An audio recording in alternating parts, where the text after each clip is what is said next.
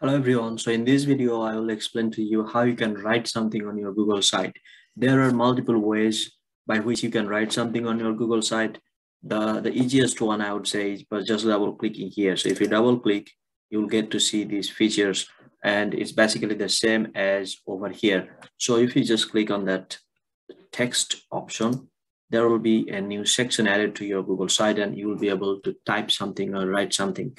So if I write welcome message and I want to make it the title here.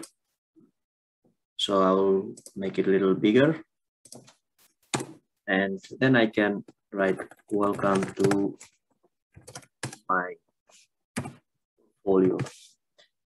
So as you can see, that's how you'll be able to write something. And then if you want to make it, make this section bit smaller, you can do that as well.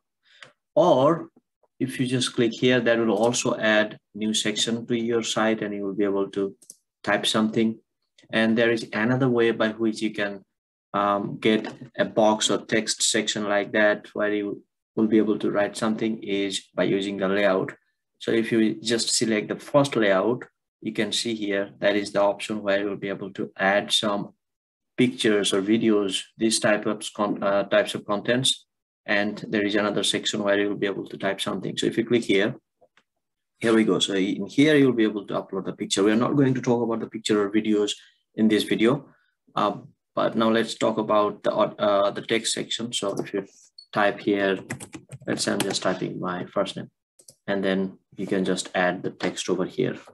So that's how it will be. And if you don't want this picture section, you can just simply delete it and then you can make it a bit